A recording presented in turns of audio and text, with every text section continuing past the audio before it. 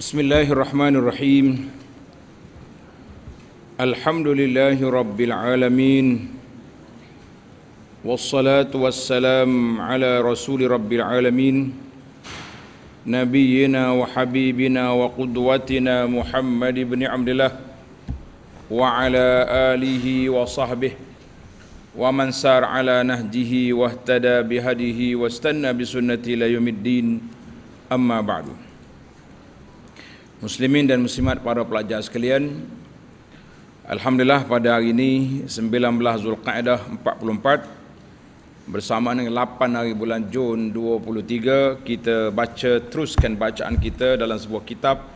Nama dia Ahadis Ahadisud Dajjal fi Sunnatin Nabawiyah. Mana hadis tentang Dajjal yang disebut oleh Nabi sallallahu alaihi wasallam Kitab ni belum ada terjemahan, tunggu kita terjemahkan insya-Allah dan untuk maklumat awal para pelajar boleh dapatkan maklumat tentang Dajjal ini dalam buku 51 hadis kisah gaib dan ajaib ini. Ha, dalam kitab ni ada. Hak nak cepat baca hak tu dulu. Yang nak cerita Dajjal tunggu sini. Dajjal ni tulis apa? Manusia. Dia dari kalangan manusia bukan jin, bukan hantu. Dia sudah berada di sebuah pulau di mana Allah saja yang tahu. Geng-geng pencari dajjal kata dia panggil apa ni segitiga Bermuda apa benda. Ha, dajjal kena ikat.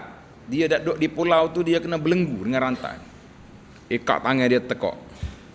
Dia tak keluar. Belum keluar lagi. Bila dajjal akan keluar di akhir zaman salah satu daripada tanda kiamat yang kita akan baca ni. Sambungan kisah Dajjal pada kali ini iaitulah fitnatul Masih Dajjal fitnah ujian yang dibawa oleh Dajjal. Dajjal dia mari dia tak mari saja. Dia bawa projek. Ha, projek banyak. Lid Dajjal fitnatun azimatun yamtahinullahu bi ibadah.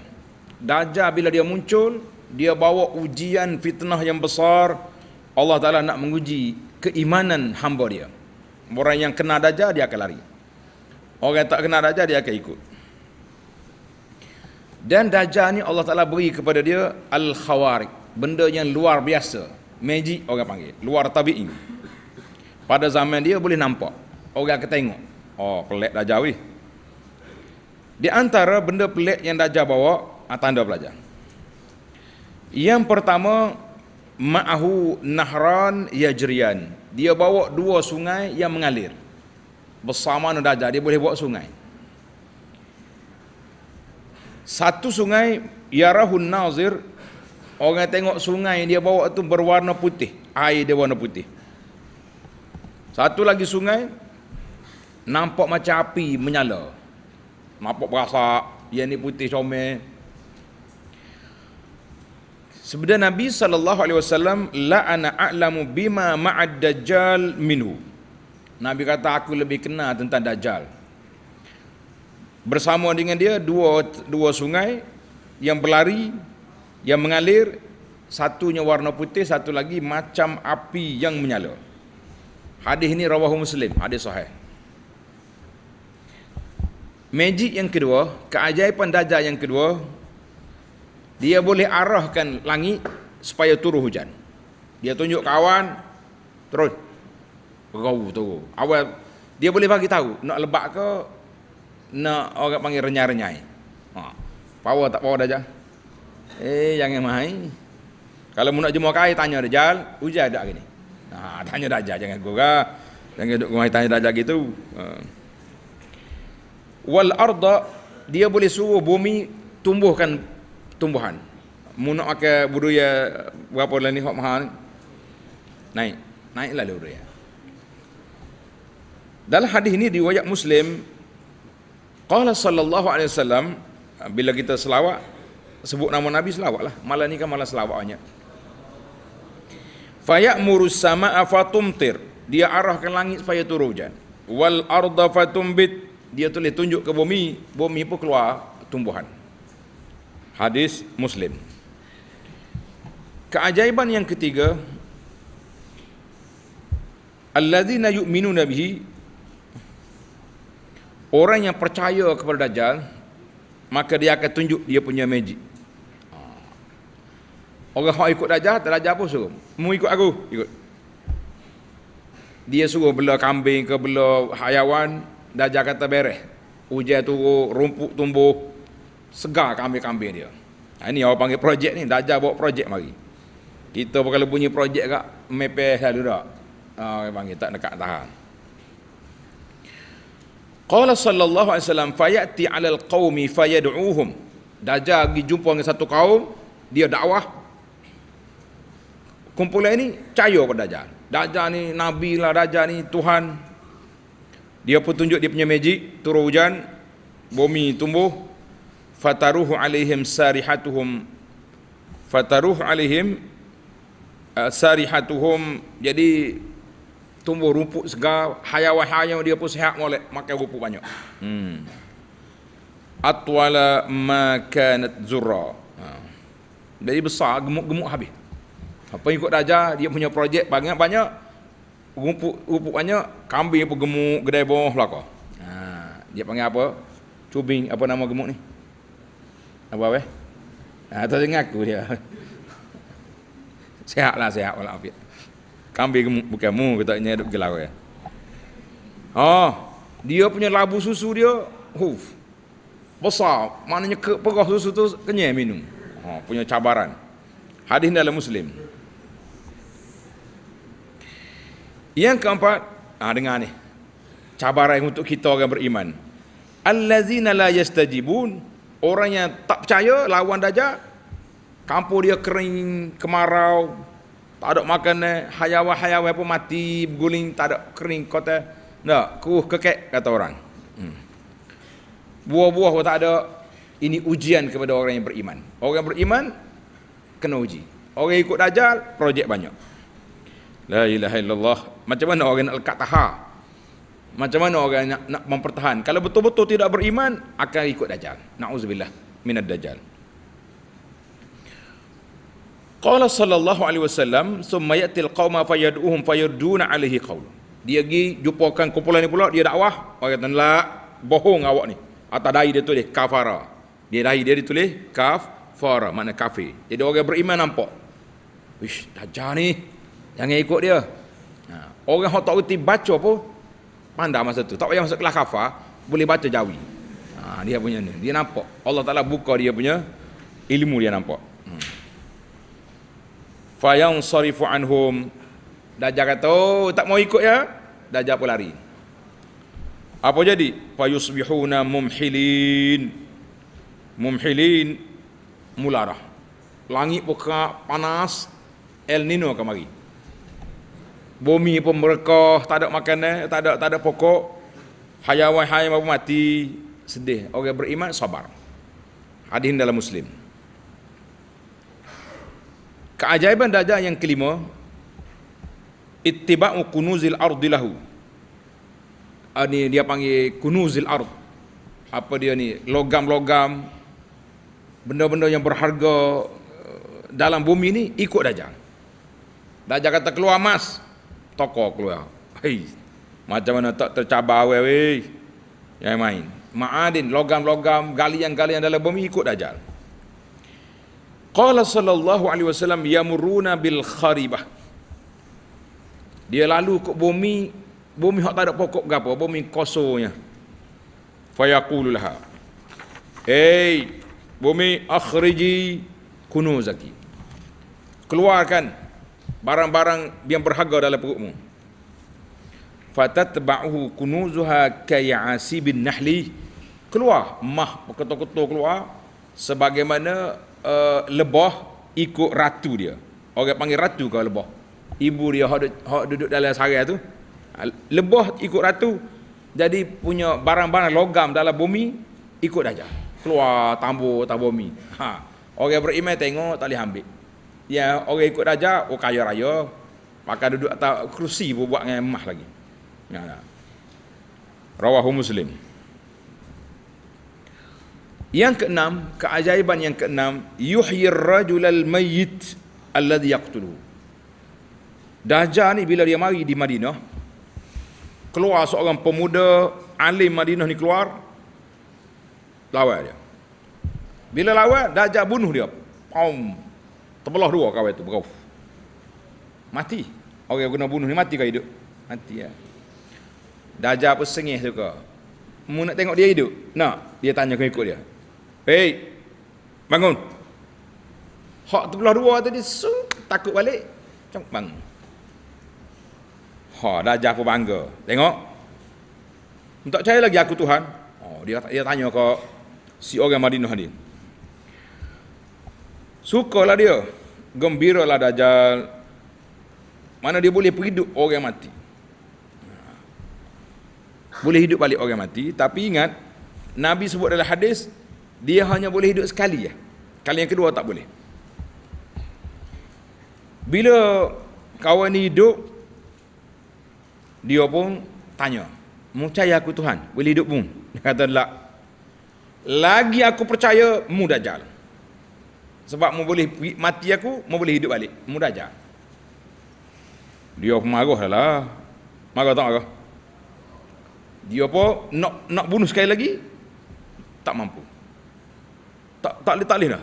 Maknanya Allah Taala tak benarkan dia. Jadi budak ni pun tunjuk, ha tengok aku yakin Nabi SAW beritahu bahawa Dajjal boleh bunuh sekali, yang kedua tak boleh bunuh. Sekarang ni kau tak mampu nak nak bunuh aku. Dajjal pun bengong tak. Ha.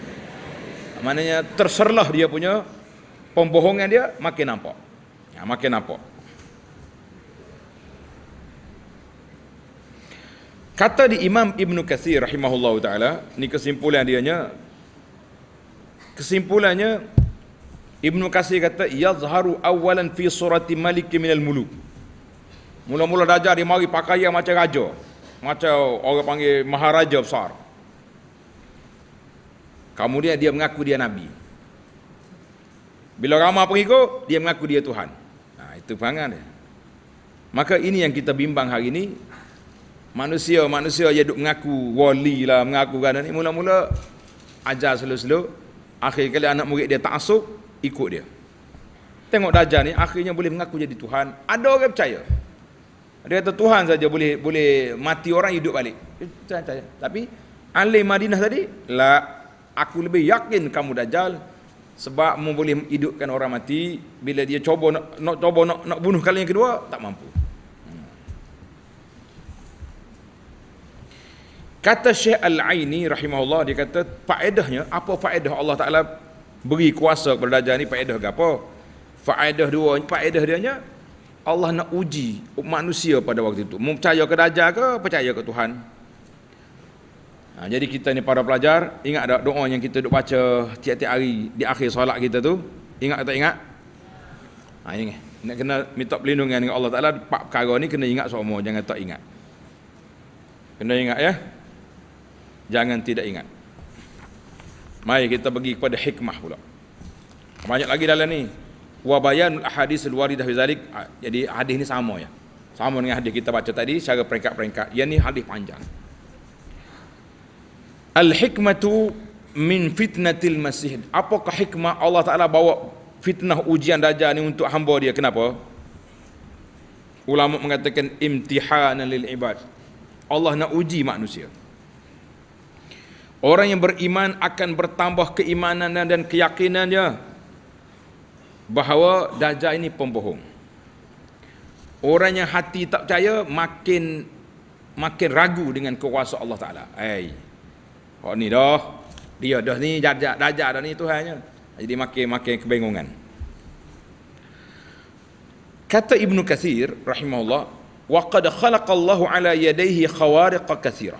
Allah Ta'ala buat beri kepada Dajjal ni banyak perkara pelik, perkara ajaib. Yudillu biha man yasha. Ramai orang sesak pergi ikut Dajjal.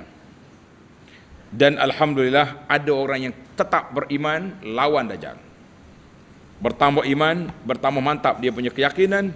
Bila dia tengok Dajjal mari, oh, kalau kita duduk belajar dalam hadis, Nabi sebut akhir zaman akan keluar Dajjal, fitnah dia macam ni, macam ni berlaku depan mata. Maknanya orang ni lagi percaya dia kepada kepada Nabi sallallahu alaihi wasallam dan lebih mantap keimanan dia kepada Allah azza wa jalla. Allahumma ja'alna minhum ya Allah jadikan kami orang yang mantap iman tidak mudah goyah, tidak mudah terperangkap dengan segala bentuk dajjal dan anak cucu dajjal. Kata di Al-Mughirah bin Syu'bah, seorang sahabat, dia kata masalah ahadun an-nabiy sallallahu alaihi wasallam dajjal tidak ada seorang pun yang bertanya Nabi sallallahu tentang dajjal lebih daripada aku tanya. Mughirah ni semangat sungguh tanya had dajjal. Qultu saya tanya, ya Rasulullah, saya dengar orang kata dajjal ni bila dia muncul, dia boleh bawa bukit atas bukit dia tu ada ada roti, ada laham. Oh, jibalu maknanya sebukit-bukit makan makan projek dia bawa. Dia boleh bawa air. Betul kah? Soalan. Qala an-nabi sallallahu alaihi wasallam huwa ahwanu 'ala Allah min zalik. Mm-hmm. Nabi kata senang ya bagi Allah Taala atas semua tu. Ini ujian Allah Taala nak uji puak-puak kamu. Ha. Jadi Allah Taala hadis dalam Muslim maknanya Allah Subhanahu Taala buat ujian ini untuk apa? Untuk nak uji hamba-hamba dia siapa yang beriman dengan Dajjal dan siapa yang percaya kepada Allah Azza wa Jalla. Hukum tiba'il Masih Dajjal. Hukum ikut Dajjal. Andai kata, na'udzubillah kata na'udzubillah.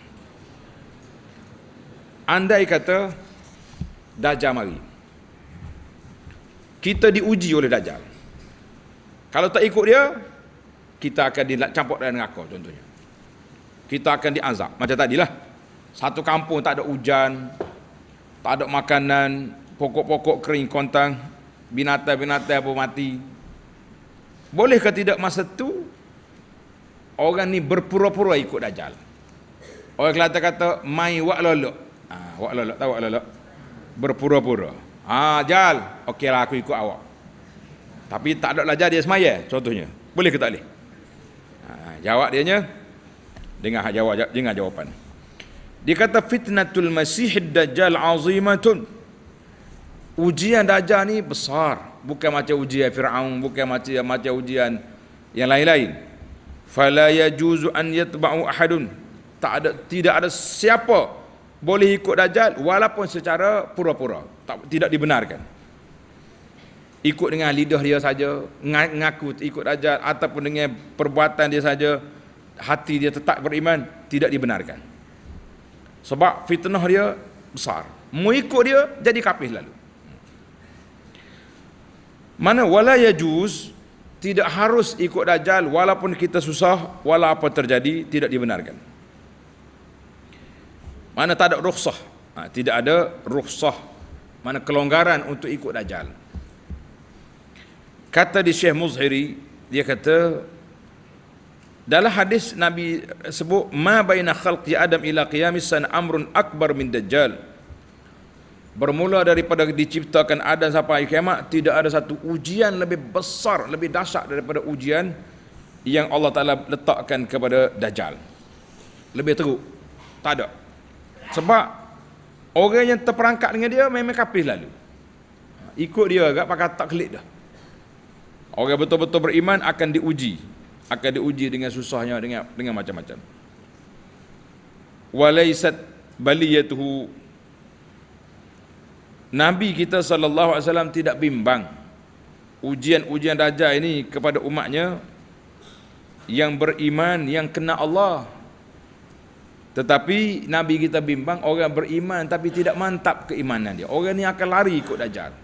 Akan lari ikut dajjal sebab keraguan atau dia panggil syubhat yang ditimbul oleh dajjal itu besar dia boleh tanya dia uh, mu percaya ke aku Tuhan tak percaya je tak percaya dia panggil ayah awak awak bin apa Mamat bin Dalah je adalah bangun anak nak jumpa bangun ayah dari kubur ngak bangun ha bos dia panggil dajjal ke bawah lah kalau kagak dah Anak dia kata ni Tuhan kita.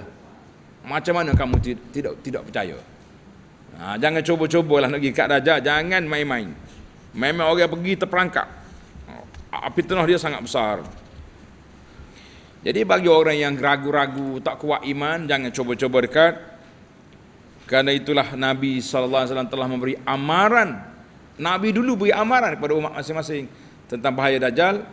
Baginda Nabi sallallahu telah mendetailkan sifat dajjal, keadaan dajjal sebab apa? Sebab Rasulullah wasallam tahu dajjal ini satu penyakit yang cukup berbahaya, yang cukup berat, dia punya ujian kepada umatnya. Jadi tak boleh. Tak boleh sekali-kali bertaqiyah Taqiyah mana berpura-pura beriman dengan dajjal tak boleh. Kan? Adapun dalam bab lain boleh. Illa man ukriha wa qalbuhu mutmainnun bil iman. Dalam dengar dengar kes lain kita boleh pura-pura.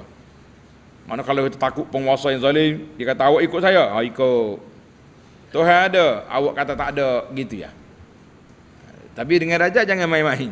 Mu ikut dia jadi selalu. Ha. Faman tabi'ahu dengan ni bahaya dia. Siapa dia pergi ikut Dajjal, sarafallahu qalbahu. Allah Ta'ala akan palingkan hati dia, memang jadi ikut Dajjal. Allah Ta'ala tidak terima keimanan dia daripada Allah. Allah Ta'ala tak beri keuzuran kepada dia mengambil jalan ruksah ataupun kelonggaran ini. Sebab tidak ada mana-mana riwayat dari kalangan sahabat atau orang lain yang mengatakan Nabi SAW membenarkan uh, bertakiyah, berpura-pura beriman, ketika datangnya Dajjal. Kalau mu takut dia, lari. Jangan duduk dekat dia. Ha, dekat duduk dekat dia, kena. Duduk dekat Dajjal, kita akan terpedaya. Kita akan terperangkap. Kita akan banyak perkara yang akan terjadi. Itulah yang dikatakan bahawa Dajjal ini satu makhluk yang besar fitnah dia. Baik kita berpindah kepada asyaddun nasi alal masih dajjal orang yang sangat kuat orang yang sangat kuat lawan dajjal siapa? Nah dengar ya iza kharajal masih dajjal bila dajjal muncul kita dah belajar dah dalam sini lepas. Dajjal dia duduk berapa hari atas dunia ni? 40 hari. Tapi satu hari dia macam setahun. Lama masa Hari yang kedua macam sebulan. Hari yang ketiga macam seminggu. Banyak lama masa dia. Jadi bila dia mari dia akan round semua dunia ni. Dia berjalan sana, berjalan timur, berjalan barat. Yang dia tak boleh masuk di mana? Mekah dan Madinah. Dua negeri ini, dua tanah haram ini Dajjal tak boleh masuk. Allah Taala tidak benarkan dia masuk semua pintu-pintu masuk ke Mekah atau dua tanah haram ni dijaga oleh malaikat. Maka bila Dajjal mari, asyaddun nasi alaihi banu tamim. Ha, dengar awak, tulis malaikat. Orang yang paling kuat lawan Dajjal, satu kabilah Arab, nama dia Bani Tamim. Banu Tamim, duduk mana dia tu? Satu kabilah Arab yang besar, eh, tempat tinggal mereka di Syamal Najd wal Yamamah di sebelah sebelah Najd, sebelah Riyadh. Arab Saudi tu. Ha, situ dia panggil Bani Tamim. Hak Bani Tamim Melayu tu banyak mengarut ya, tak. Ha. Tamim. Tanah Melayu. Sebenarnya Bani Tamim. Kamu tak, tak je dengar ada orang buat teori. Eh? Tamim ni Tamim tu mana? Tamim, tanah Melayu. Dia kata asal daripada Bani Tamim. Kita kata ini Bani ini teori mengarut tulis itu. Air Melayu jadi Bani Tamim pula dah. Buat. Hak dulu jadi Imam Mahdi dulu pun. Bani Tamim Melayu juga. Lah. Bani Tamim ini duduk di Arab. Di sebelah Syama Najdi wal Yamamah.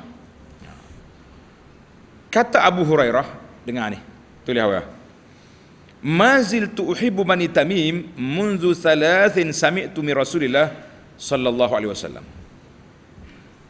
Aku terus mencintai Bani Tamim setelah aku dengar tiga perkara Nabi sebut tentang Bani Tamim.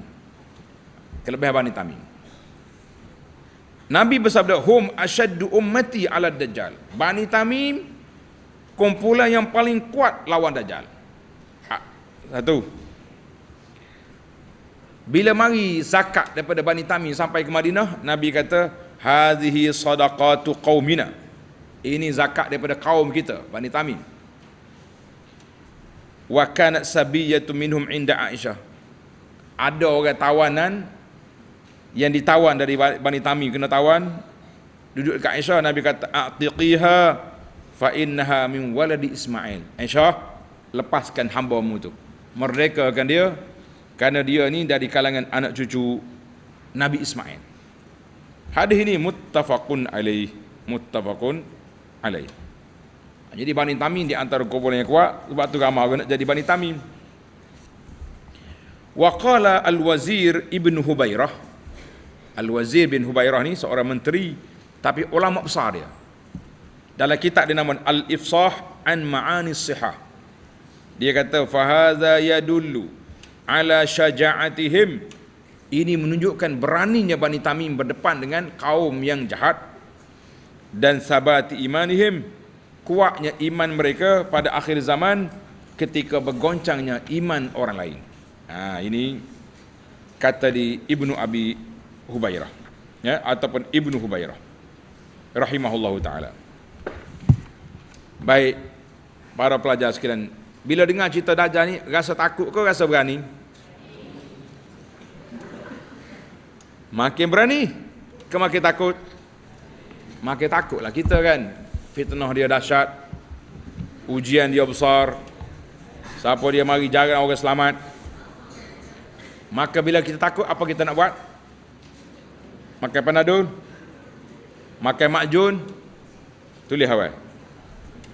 Untuk menyelamatkan kita dari Dajjal, untuk menyelamatkan kita dari Dajjal, dalam kita ini telah menyinaraikan lima perkara, tulis, lima perkara yang menyelamatkan kita dari Dajjal, insyaAllah. Lima perkara yang menyelamatkan kita dari Dajjal, biiznillahi azza wa jalla. Yang pertama, tulis pelajar. Yang pertama, fitnatul masih dajjal azimatun. Fitnah dia besar. Wal ismatu minhu ba'da taufiqillahi ta'ala nak selamatkan diri kita, nak jaga kita daripada dajjal setelah kita menerima taufik daripada Allah Taala iaitulah ada lima perkara. Yang pertama, yang pertama at-tamassuku bil Islam. Kita mesti berpegang dengan ajaran Islam ini. Wat tasalluhu bil iman dan berperisaikan, bersenjatakan iman. Iman kita pada Allah itu senjata. Wa ma'rifatu asma'illahi wa sifatihil husna. Kita kena belajar nama-nama Allah dan sifat-sifat Allah Ta'ala yang maha tinggi. Kita belajar semua sifat Allah Ta'ala bukan setakat 20 7 20 ya kita belajar semua sifat-sifat yang sempurna bagi Allah yang Allah Taala sifatkan dirinya dan Nabi SAW sifatkan Allah dengan sifat yang mulia maka di antara tanda ad-dajjalu a'war. Dajjal ni mata sebiji muka dia ni ada mata sini mata dia ni timbul. Macam biji uh, macam buah anggur. Topok situ. Sebelah lagi mata dia sebuta tak tersapu kosongnya ha, kalau tengok tu huish kakak dajjal ni. Kena ingatlah kan? Dajjal maka nabi kata fad dajjalu a'war. Dajjal ni mata sebiji. War rabbu ta'ala laisa bi'awar. Allah Ta'ala bukan seperti dajjal tu rupa. Dan Allah Ta'ala tanda tulis. Di atas dahi dia tulisan kalau macam kita kak nombor pelik kereta kereta kan ada pelik dia? D S apa nama ni? Semua ada Dajar dia mana nombor pelik dia duduk atas dahi dia duduk atas dahi dia dia tulis kaf fa ra bacaan dia nya kafir ada orang beriman semua akan nampak. Bila tengok Dajjal mari, tengok jauh lagi, sena, eh kape. Lari cepat. Jangan ikat dia, lari. Jangan jangan hidup tunggu dia. Ah, tunggu dia cari penyakit. Ah, kena kita kalau tunggu Dajjal. Itu yang pertama kita kena kenal Allah, sifat Allah Taala berperisaikan keimanan berpegang dengan Islam. Insya-Allah kita selamat. Yang kedua, at-ta'awuz billahi min fitnati. Sentiasa kita minta berlindung Allah Taala daripada fitnah dajjal. Kita kena minta berlindung Allah Taala daripada fitnah dajjal. Maka Rasulullah sallallahu alaihi wasallam telah mengajar kepada kita supaya doa baca doa ini bila di akhir solat. Ingat semua doa ni. Doa akhir solat sebelum bersalat ingat? Hai jawab molek tak gaya haji kan tak ingat.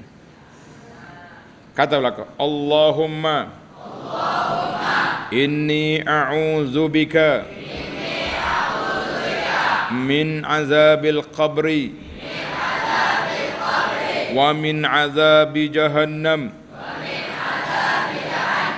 min fitnatil mahya wal mamat. Wa min syarri fitnatil masihid dajjal. Ha. ini yang kita nak baca apa dia kan? Empat perkara kita minta perlindungan daripada fitnah dajjal azab kubur fitnah hidup dan mati dalam riwayat ada lagi tambahan Nabi kata wa min syarri fitnatil ghina kalau boleh hafal ni bagus Allahumma inni a'udzubika min fitnatin nar wa azabin nar wa fitnatil qabri wa azabil qabri wa min syarri fitnatil ghina. Ha, ini tak ada lagi. Aku minta berlindung daripada kejahatan fitnah kaya. Kita kalau jadi kaya belum tentu kita tawaduk. Sombong, agah, uh, takabur ada belakang. Wa min wa min syarri fitnatil faqri. Kita minta berlindung daripada kejahatan fitnahnya fakir. Orang pakai hangit doa ni berat juga. Tak? tak ada benda nak makan dia pergi curi ngenak orang macam-macam kemudian yang ketujuh berapa dah kita tadi enam yang ketujuh wa a'udzubika min syarri fitnatil masihid dajjal aku minta berlindung ya Allah daripada fitnah dajjal hadis ini muttafaqun alaih yang ketiga ah baru siapa kita ingat jemaah ingat apa eh ingat jemaah ingat baca surah Al-Kahfi. Alhamdulillah ni kitab kita surah Kahfi sudah keluar. Eh, kena ada belakang ni. Kena pakai baca belakang. Tulis itu. Yang ketiga, menghafal 10 ayat daripada awal surah Kahfi. 10 ayat daripada awal surah Kahfi ataupun 10 ayat daripada akhir surah Kahfi. Sama ada kita baca awal atau kita ambil yang kemudian. Pelajar-pelajar kita ni ingat ke tak ingat? Kalau tak ingat lagi kat mana tak takut dah Malam ni jangan tidur kecuali kita hafal 10 ayat awal surah Kafi. Boleh ke tak boleh? Dan esok kita hafal 10 ayat akhir surah Kafi pula. Kena boleh lah. Barulah dah selamat. Tengok Nabi kata apa? Qala an-nabiy sallallahu alaihi wasallam man hafiza 'ashra ayatin min awwali suratil kahfi wa fi riwayatin min akhiril kahfi usima minad dajjal Siapa dia hafal 10 ayat awal surah kahfi dan memahaminya bukan sekadar hafal bodoh gitu ya hafal kena faham ataupun 10 akhir ayat surah kahfi usima minad dajjal maka dia dipelihara daripada dajjal. Ha, kita nak pelihara daripada dajjal kita selamatkan diri kita dengan benteng dia surah al-kahfi. Hadzal hadis rawahu muslim.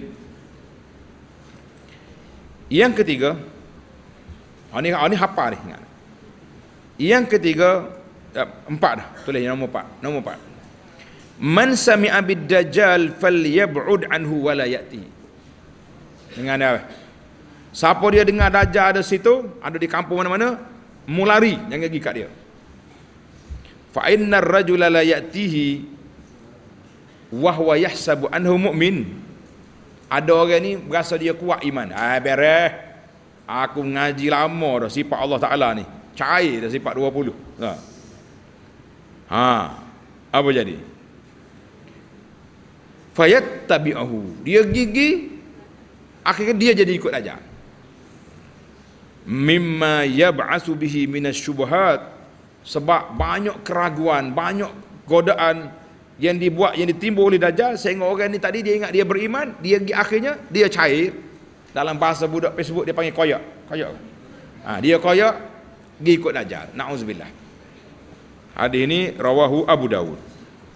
Ha, maka para jemaah sekalian Nabi bersumpah dia tadi fa wallahi innar rajula la yati Nabi bersumpah siapa dia pergi jumpa dajjal dia akan terpengaruh dia akan terperangkap dengan dajjal jadi siapa dia dengar dajjal mari lari jangan tak Ha, dengar Dajjal mari jangan duduk dekat. Bahaya. Kita tak tak mampu nak lawan Dajjal sebab godaan dia, fitnah dia terlalu dahsyat. Godaan dia terlalu dahsyat. Baik. Andai kata andai kata kita bertemu dengan Dajjal, jumpa. Kita duduk sembunyi dah. Orang lain kata nusuk dah. Nah. Tiba-tiba loh Dajjal tu Ah, sudah. Nak lari hanya sembuh dajjal lah. Eh awak nak gimana? Ha. Dia celek dengan mata butir dia tu tak lagi. Ha. Eh suka memang dajjal suka apa? Kata Nabi sallallahu alaihi wasallam dengan apa? Siapa dia jumpa dengan dajjal, dia kena baca permulaan surah Kahfi. Kita baca depan dajjal. Dajjal jadi lari. Takut.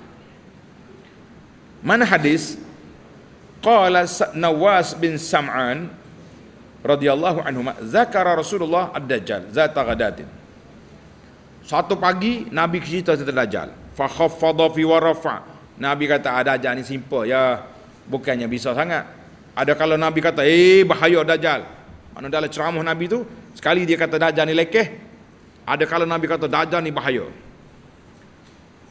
Faqala Ha, hatta zanannahu fi ta'ifatin nahli nakhli sahabat kata cara nabi cakap tu macam kau dajjal tu duduk le pokok tu ya balik pokok ya mau dekat dah oh, dekat sangat falamma ruhna ilai arafa zalika fina faqala ma sya'nukum ha, jadi bila kami pergi dekat dengan nabi nabi tanya mau tanya apa ada masalah apa kamu ni mari ni faqulna kami pun tanya, Ya Rasulullah, zakar tadajjal gada. Waktu Nabi sebut dajjal pagi tadi, nampak macam dekat je dia tu. Kami rasa bimbang. Qal. Dengan ya apa? Faqala kata Nabi sallallahu ghairu dajjali akhwafani alaikum. Ada lagi orang lain pada dajjal aku takut menimpa kamu. In yakhruju wa ana fikum fa ana hadijuhudunakum kalau dajjal muncul aku ada aku lawan. Muduk belakang. Qal wa in yakhruju walastu fikum. Allahu akbar. Nabi kata kalau dajjal muncul aku dah tak ada famru'u hajiju nafsi setiap orang carilah hujah nak lawan dajjal. Wallahu khalifati ala kulli muslimin. Allah taala jaga aku. Kalau kamu beriman Allah jagamu. Mu tak akan terpedaya dengan dajjal. Ha. Maka Nabi sebut Dajjal ni seorang pemuda Qototun. Qototun dia panggil Rambut dia macam negro Rambut polah. Rambut kotok lah Kelantan kata. Apa rambut rambut hak macam negro Rambut apa? Rambut pulah lah sini Rambut berpulas Wa'ainuhu tafi'ah Mata dia sebutnya timbu Macam-macam biji Macam buah apa tadi? Buah anggur Maka Nabi kata faman adrakahu minkum. Siapa dia jumpa dajjal falyaqra alaihi fawatiha suratil kahfi mugi baca permulaan surah kahfi baca sembuh dajjal. Ha, rawahu muslim. Sampai-sampai nak lari tu baca dulu. Alhamdulillahilladzi ni. Apa ni? Ha. Qala Ibnu Jauzi. Ibnu Jauzi rahimahullah kata wa amma takhsisu zalika bi ashri ayat min awil kafi. Apakah hikmat? Nabi sallallahu suruh kita hafal 10 awal surah kahfi ni kenapa? Sebab ambil daripada ayat liyunzira ba'san syadidan min ladun. Ha? Liyunzira ba'san syadidan min ladunhu Allah Taala nak beri amaran kepada kamu akan ada bujian kesusahan yang Allah Taala timpa atas kamu maka bila kita tahu kita susah ni yuhawin ba'sad dajjal ancaman dajjal tu kecil ada lagi orang lebih besar pada tu. mana kita, kita itu dia panggil bandingan dalam ayat wa yubashshirul mu'minin alladhina ya'maluna as-salihati anna lahum ajran hasana makisina fi abada Allah Taala beri khabar gembira kepada orang yang beriman yang beramal soleh mereka akan dapat balasan yang baik kekal dalam syurga. Yuhawwinis sabra maka mudahlah kita nak sabar menghadapi dajjal sebagaimana yang sebut tadi. Okay, bila orang awal lawan dajjal kampung dia jadi kering kontang. Hayawan dia kuruh kekek. Tanaman dia tak jadi.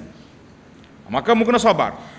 Orang nak syurga bukan mudah itu dia itu dia panggil hikmah kenapa kita kena baca surah. Surah apa eh? surah al-kahfi. Wa qala an-nawawi rahimahullahu taala nawawi kata apa? Nawawi ini mati pada tahun 676 qila sababu zalika ma fi awwaliha min al-ajaib wal ayat. Kerana di awal surah kahfi ini banyak benda yang pelik-pelik tanda-tanda kuasa Allah taala faman tadabbarha lam yuftanan lam yuftatan bidajjal siapa dia tadabbur ayat ini dia tidak akan terpengaruh dengan dajjal. Wa kaza fi akhiriha demikianlah di akhir surah al-kahfi. Jadi alhamdulillah para pelajar-pelajar sekalian kita bersyukur kepada Allah SWT surah al-kahfi yang kita duk baca sini. Kuliah di malam jumaat atau pagi jumaat di pondok kita ni telah kita bukukan. Ha, nama dia tafsir surah kahfi Siapa yang belum ada boleh ambil. Siapa yang sudah ada kena baca. Ha, beli saja tak jadi. Tak, nak lawan dajjal ni bukan mudah. Senang ke ingat lawan dajjal? Eh, senangnya kata. Tak, bukan mudah.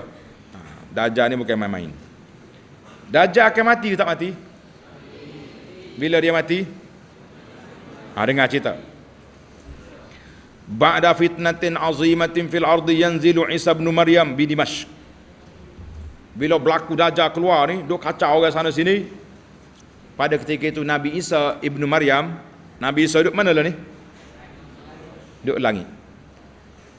Allah Ta'ala suruh Nabi Isa turun malaikat bawa turun Nabi Isa. Di mana? Di Damsyik di Syria. Di Al-Manaratul Bayda menara putih dekat dengan Damsyik Syria. Terus itu waktu dia turun tu ha ketika itu Imam Mahdi sudah ada. Al-Mahdi sudah ada. Qala Nabi sallallahu alaihi wasallam fa bainama hum yu'idduna lil qital. Yani orang muslimin sedang bersedia-sedia nak perang dengan Rom. Yusawuna sufuf mereka samakan saf iz uqimatis salah. Bila pun qomat nak semaya. Tiba-tiba yanzilu Isa bin Maryam. Nabi Isa turun lagi. Cuma ada riwayat kata Nabi Isa turun dia suruh Mahdi jadi imam. Dalam riwayat ni kata dak fa'ammahum. Riwayat ni kata Isa jadi imam. Boleh jadi dua dua dua kisah, dua suasana wallahu alam. Hebatnya Nabi Isa ni fa iza ra'ahu aduwullah bila dajjal tengok Nabi Isa zaba kama yazubul milhu fil ma sebagaimana cairnya garam dalam air. Dajjal bila tengok Isa, dia bangun Nabi Isa tu jadi lembek. Macam kena stroke. Ha, Dajjal kena stroke. Ha. Falau tarakahu lan lan zab hatta yahlik. Kalau Nabi Isa biar, Dajjal tu bakal jadi cair. Habis mati gitu. Tapi Allah nak muliakan Nabi Isa, walakin yaqtuluhu Allahu biyadihi. Allah Taala suruh Nabi Isa pergi bunuh. Mungkin kat Dajjal Dajjal lembek dah. Stroke dah tak ada gapo dah. Nabi Zabuk ambil dia punya tombak, top, tikam. Nak kata mati ke mampu? Apa dia aja mati matilah. Dia orang mampu mampu ni apa dia? Bateri, tak? Bateri mati ke mampu? Ha, ni orang ni kena mati, ha, mati. Mana dajjal mati? Bila eh, hadis ni riwayat Muslim, apabila Nabi Isa bunuh dengan tangan yang mulia, liyazdad imanul mukminin orang orang beriman pun bertambah iman bahawa Dajjal bukan Tuhan sudah mati dibunuh oleh Nabi Isa alaihissalam. Di mana tempat dia bunuh? Wa yakunu qatluhu fi Palestin. Di Palestin nama satu tempat nama dia Babu Luddin. Babu Luddin shimal gharbi Baitul Maqdis. Di sebelah dekat Baitul Maqdis lebih jauh dia lebih kurang 50 km daripada Baitul Maqdis Babul Lud kata Nabi wasallam yaqtulu ibnu Maryam ad-dajjal bibal bilud. Nama tepat di di Palestin rawahu Tirmizi. Kata Ibnu Kasir ada ngawai eh? ini kesimpulan. Kata Imam Ibnu Kasir rahimahullah taala yakunu nuzul Isa bin Maryam eh, Masihil Huda. Nabi Isa turun dia dua-dua nama Masih berlaku.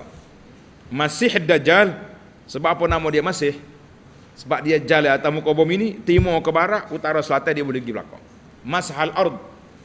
Dia boleh pijak bumi ini Nabi Isa kenapa nama nama Masih Al-Masih Isa. Ha, dia mau tak dengar daripada awal gitu. Nabi Isa sebab tangan dia tu magic.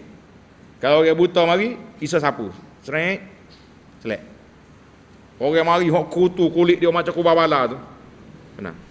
Nabi Isa sapu ya bismillah. Comel semula. Macam bau klik daripada sauna, sauna ke apa? Hok mandi wak. Ha. Jadi Nabi Isa masah mana dia boleh sapu orang jadi sembuh. Maka dua. Jadi alhamdulillah Nabi Isa telah bunuh. Nabi Isa turun di mana di mana menara menara Tawaidah di di timur Dimash. Orang Islam semua pakai ikut Nabi Isa belakang. Ha, pagi begitu. Jadi Nabi Isa bawa orang ni pergi cari Dajjal. Mari kita pergi lawan Dajjal. Tadi orang takut Dajjal. Biar Nabi Isa ada depan, berani lah kitanya. Kalau nak pergi sore-sore jangan. Maka Nabi Isa bawa orang ni pergi ke Baitul Maqdis. Fayudrikahu inda abaqati afiq. Oh, dia kata Nabi kita Isa jumpa dengan Dajjal dekat dengan tasik Tabariyah. Baru ni kita tunjuk dah gambar-gambar. Malah nak tunjuk pula ke? Eh? Nak? No. Bila dekat berkat tasik, Dajjal pun lembek. Lari-lari sampai ke Babel Lud. Maka Nabi Isa bunuh dia dengan tombak, tikam. Wa yakulahu inna li fika darbatun lan tafutuni. Dajjal jangan lari. Aku nak aku nak kamu. Maknanya Allah Taala ada perintah macam tu. Bila dia beradak dengan Nabi Isa, Anma, Dajjal tu jadi lembek. Lembek tak bermaya. Macam kita stroke lah kena kat lembut lalu senang Nabi SAW kata kacau banyak ambil ambil tombak dia. Pakai bom bui mati. Sesalah bila senaja sudah mati kita kita pun tamat. Sedap lagi cerita ni tak? Ha, tamatlah cerita Nabi. Nabi Isa bunuh Dajjal. Jadi Alhamdulillah para pelajar sekalian kena beli kita ni. Nama dia uh, apa ni surah Al-Kahfi. Ada sebuah buku lagi. Nak nak dengar cerita sedap? Ha, baca hak ni lagi kisah gaib ni. Kena ada juga ni. Cerita Dajjal dan Nabi Isa bunuh dia di Palestin. Ada lagi cerita Hosdak tapi kita tak bawa kitab dia. Nama dia berakhirnya dunia ini. Suruh ayah beli mak beli berakhirnya dunia ini. Kitab ni menarik sebab dia bawa semua cerita uh, tanda-tanda kiamat. Ada 130 tanda kiamat. Apa nama kita berakhirnya dunia ini Kemudian bila mari tanda kiamat yang besar ni. Keluar Nabi Isa keluarnya uh, binatang dalam bumi nama dia Dabbatul Ard 10 kara keluarnya Nabi Isa. Bila Nabi Isa bunuh Dajjal pada masa itu munculnya Ya'juj wa Ma'juj. Ah, Ya'juj Ma'juj ni berat lagi. Dia makan habis segala benda. Orang dia tu. Maka Nabi Isa naik atas bukit berkubur di situ dia dikepul oleh Ya'juj Ma'juj. Akhir kali payah nak lawan, Nabi Isa minta doa dengan Allah SWT supaya Allah hantar mari tentera kalahkan ya ramai Ya'juj Ma'juj ni. Ramai. Nak awal tak ada. Maka pada waktu itu mari ulat. Ulat kecil je. Pakat kekoh. Tengkok Ya'juj Ma'juj. Ngak ngak ngak mati Ya'juj Ma'juj.